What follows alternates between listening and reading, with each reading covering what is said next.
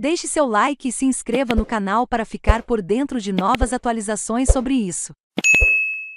Demissão do presidente da Petrobras é para enganar os ingênuos. Perguntas que não calam. E se Bolsonaro não fosse candidato à reeleição, ele demitiria como fez ontem à noite. O terceiro presidente da Petrobras com pouco mais de 40 dias no cargo? Se não é para mudar a política de preços da empresa, atrelada ao valor do petróleo no mercado mundial, por que trocar José Mauro Coelho por Caio Paz de Andrade? O novo presidente? Mauro Coelho foi indicado pelo ministro Bento Albuquerque, das Minas e Energia, que Bolsonaro demitiu por causa de um reajuste no preço dos combustíveis. Tinha que entregar uma cabeça. Paz de Andrade foi indicado por Paulo Guedes, ministro da Economia, a quem servia como secretário especial de desburocratização.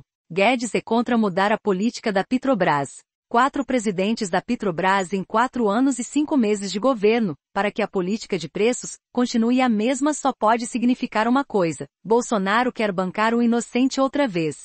Ele tem poderes para mudar a política de preços da Petrobras adotada no governo do presidente Temer? Tem.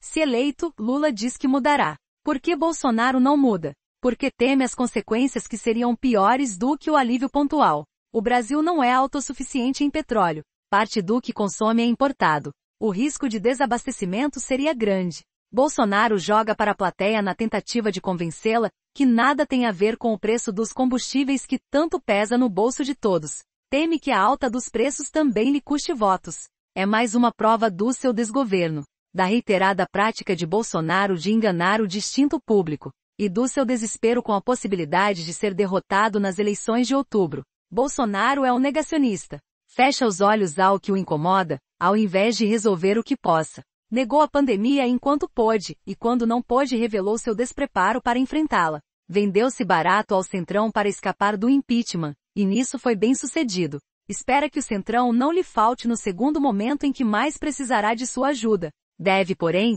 ser reconhecido como um incansável produtor de factoides. Em média, é pelo menos um por dia, e se não fosse assim, a essa altura estaria rolando ladeira abaixo.